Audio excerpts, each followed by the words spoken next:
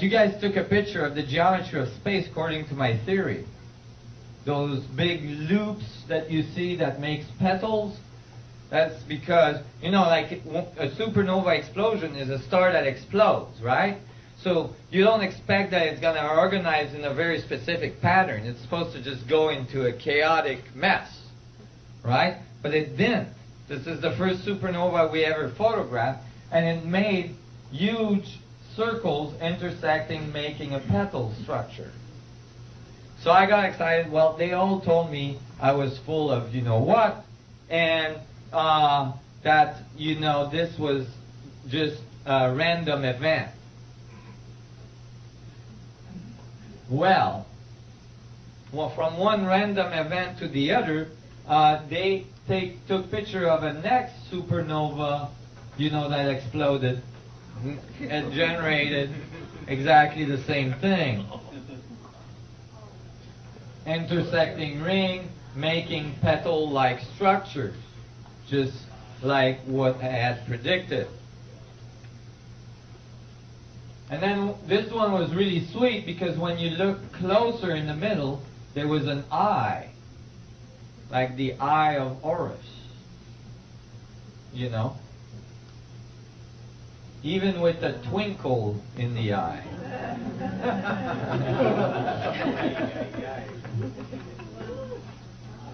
but what got me really excited about that one is that the two inter the center of our sun is a black hole. Do some of my presentation now, but that's okay. you did really good at moving forward in your conclusions. And that's exactly what I concluded to. And this is one of the reason I got kicked out of physics conference, is that I didn't just tell them the center of all galaxies were black hole. I told them all suns, including our sun, is a black hole including planets. Planets, atoms, everything we look at. The energy level of planets, for instance, all the gaseous planet, the gaseous planet in our solar system, all produce between 70 and 80% more energy than it receives from the sun. There is nothing in current physics that explains why.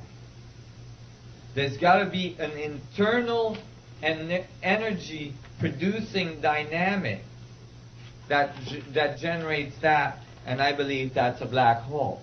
Inside all orbiting bodies, you find the event horizon of a black hole, and depending if you're far enough from that event horizon, then you're you're far enough from the high gravitational field so that it is like the surface of this planet, a weak gravitation. Do you guys understand?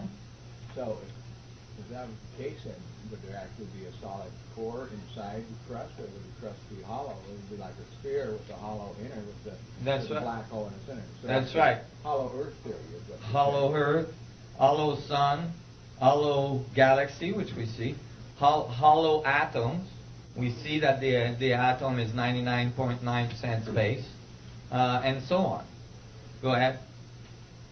Do you think that this this picture up here uh, is also reproduced by the Big Bang itself? Yeah, you could see. You see, if this if this cycle of a black hole gathering too much plasma and then spinning it out can be applied at all resolution of the fractal, the then you can go, you could say that the Big Bang is just a, an enormous black hole that gathered too much material and eventually spit it out. And that created our universe. Do you see what I'm saying? And, uh, and you, you can see it at all levels. You can see it in the creation of, of uh, solar systems. You can see it even in the creation of, uh, of atoms and so on. You know, at electron clouds orbitals jump from one quanta to the other if you add enough energy. Well, then maybe you could use this, this pattern to, to predict the distribution of matter out there in the universe. You can. And that's why we wrote the scaling law. That's the start of predicting the patterns of distribution of matter. First of all, you describe its scale. It circles throughout, throughout the. Yes, you should see these circles throughout space. Yeah. Is that what you're saying? Yeah, Yeah, we do. I mean, all in this form. Yeah, you will find so so the universe would have this form. Now this form is not a 2D form. It's actually a 3D double torus. And we're going to see what that looks like in a minute. Well, if you said people are black holes too, then why don't people gather too much material and then spit it out? They do. We do. Was that like shedding your skin Come to cells Fairfax. and going Yeah, we said we shed uh, we the the cell division is occurring at a million cell a second, I think. Okay, and you're shedding stuff all the time uh, in order for your system to stay in balance. There's all sorts of ways you can look at it. For instance, throughout the day you radiate energy all the way through, throughout the day, and then you as you radiate energy, you gather information You gather right, and you gather food and so on and all this stuff. Go ahead. If the Earth would be hollow, would it have a nucleus in the middle? The nucleus is singularity. The nucleus is, is the, from the event horizon of a black hole, from the surface of a black hole, everything inside there is collapsed towards singularity, leaving vacuum behind. So, um, so the center of the Earth would be a singularity. So would be the center of the of the um, of the solar system, the sun. What you're saying is that singularity is basically infinite. You're Yes. infinitely moving towards a singular point that never really fully. you never reach because it has infinite potential of division. So, you know, remember I was saying we all observe things from a different angle, so we're all different? But we're, we all agree that this is a pan in general, you know. Depending on what you've taken for breakfast, you might think it's a pink elephant, but that's a whole other story.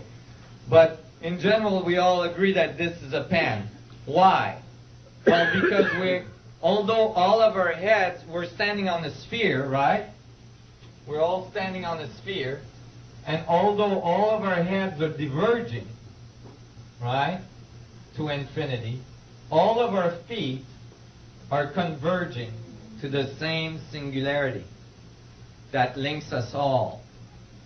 So, as far as the earth goes, from its point of observation, we are all agreeing on a consensus reality, which is constantly changing as a result of the way we're, ch- we're changing our relationship to reality on the surface.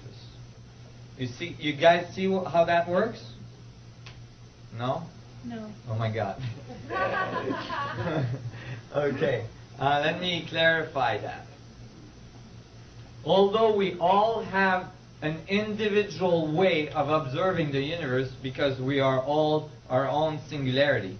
And when I say that, I don't say it trivially. If you are the singularity centering a universe, I mean it literally.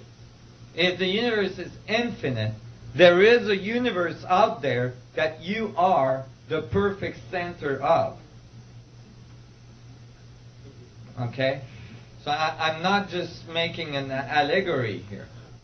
You are the center of the universe. But if, uh, and then that universe that you're the center of, that is the center of an, even a larger one. And so on and so on. Well, okay. So now you observe the, the universe from your own center, but although you observe it from your own center, we are all connected to the same gravitational center, the center of the Earth. The same singularity holds us all together. And that allows us to have a common agreement on the planet that this is a felt pen. Do you see? And not a pink elephant. Right? Otherwise, all of our views would diverge so far apart, we wouldn't agree on anything. You see? But the system is so that, that there is always a larger center that generates a consensus of observation between all the independent systems of that of that organization. For instance, all of your cells agree to be you. Right? Because they're whole they're all held by a specific singularity gravitational center which is you. Right? And they all collaborate to generate you. Is that clearer now? Mm-hmm. There was a bunch of hands up. Go ahead. Sorry, I just wanted to know that since you said atom is 99.999999 space, Yeah. and if we say Earth is a, you know, it's, so it's a black hole like atom, does that mean that Earth can have that much space in it? Well, it does because Earth is made out of atoms and all